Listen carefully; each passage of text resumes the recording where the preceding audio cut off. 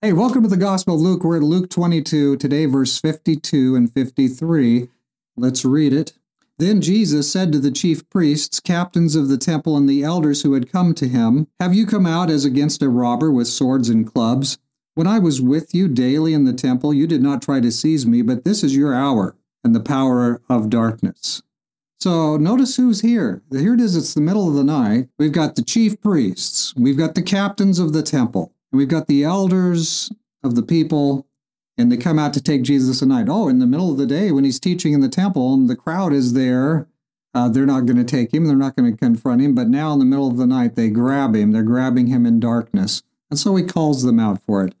You didn't seize me then, but now is your hour in the power of darkness. He's trying to help some there in that crowd understand what spirit they are of, what they're doing. They're going to suppress the truth. They're going to suppress the truth himself. And there they are. And the leaders are aligned against Jesus. The, the spiritual leaders, all the leaders, they're there.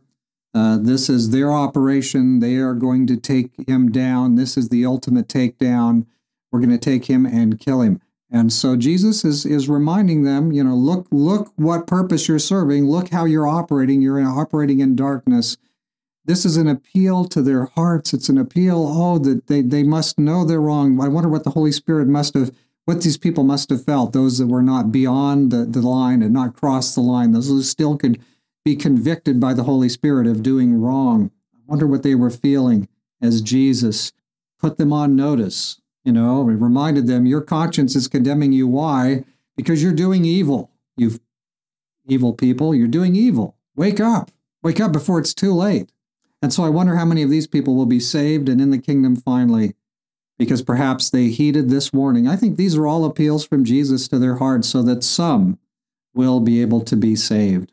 So may that uh, may that have come true. One day, very soon, perhaps we'll know. We'll meet some of these people on the other side in the kingdom after Jesus comes. Let's pray right now. Father in heaven, thank you that all the way down to the end, Jesus is working for hearts. He's working to bring conviction to souls. He's working in, in harmony with the Holy Spirit so that these people, uh, some of them, the ones who are uh, able to hear, will hear, and perhaps some of them, maybe somehow at a future time, turn turn back towards you. May that have been true.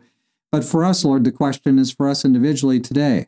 Are our hearts fully turned toward you? If not, Lord, then please give us appeals like this and help our hearts to be fully turned towards you. This is our prayer in Jesus' name. Amen. Friend, may the blessings of the God of heaven be upon us as we turn ever more fully toward Jesus.